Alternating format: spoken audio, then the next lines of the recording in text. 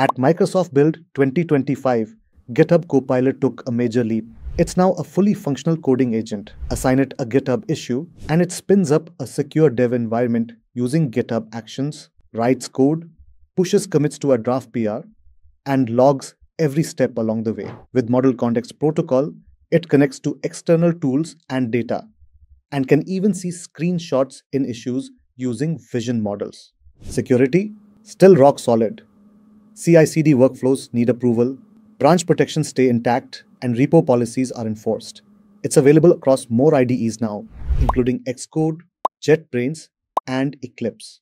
Why it matters? This update is part of Microsoft's broader push toward the open agentic web, where AI agents don't just assist, they collaborate.